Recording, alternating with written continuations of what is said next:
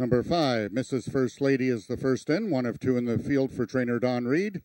Both number one, One Dashing Zed, and number two, Island Vodka, both in. Number six, Louisiana Kit T, making her 2018 debut. Number seven is Corona's Chrome. Number three, Carneros. Number four is a Rising Miracle. The last one in, number eight, Fishing for a Corona in this eighth and final race of the afternoon.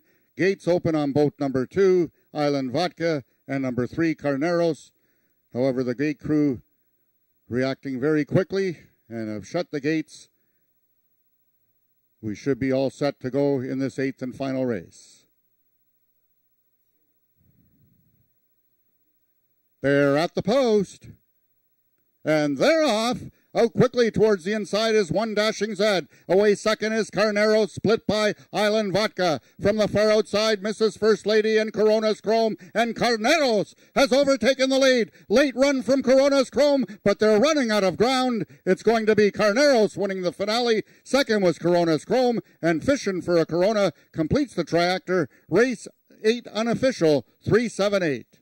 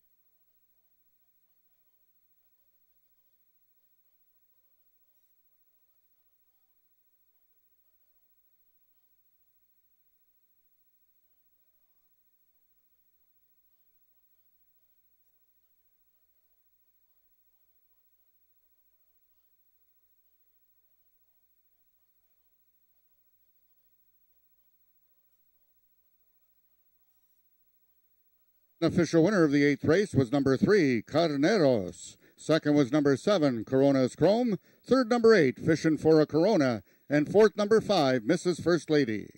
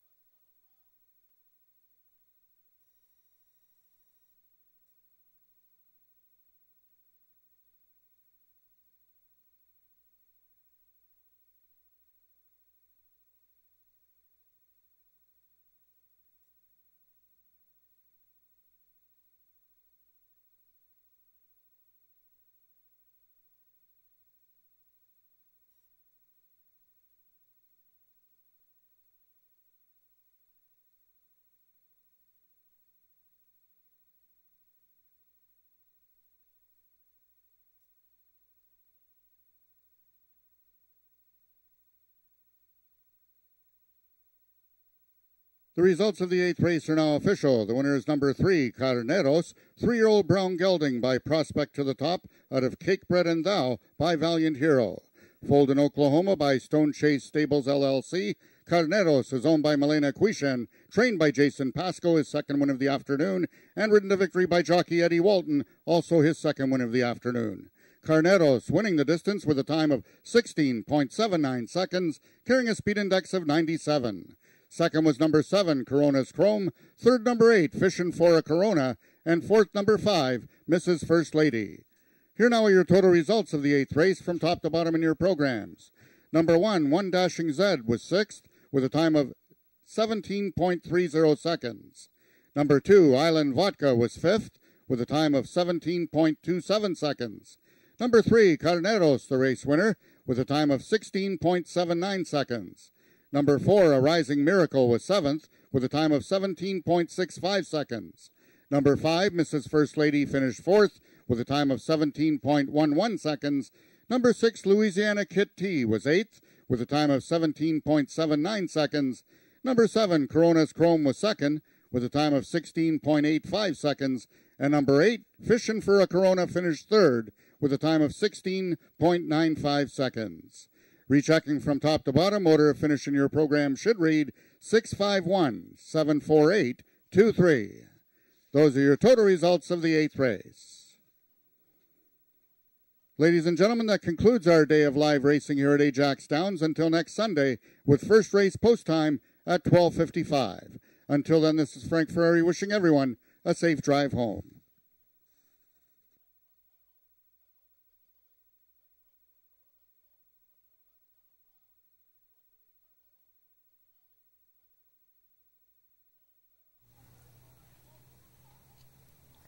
Okay, Eddie Walton is here. He won the last race on Carneros, and uh, second win. We had a lot of horses win today that won their last start. So seems like horses that are red hot right now are uh, carrying it on. Would you agree with that thinking? Yeah, I think so too. And you know they're going short right now, so those horses that stand up and get away really good are have a bit of an advantage too.